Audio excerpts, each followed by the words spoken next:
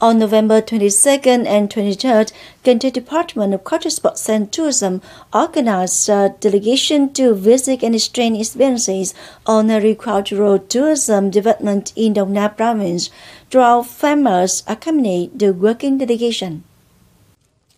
The delegation came to learn about agricultural tourism models of Đồng Nai province such as Cacao Garden in Định Quán, Ecotourism Village of Tân Triều, Pomelo Garden, Vĩnh Cửu District.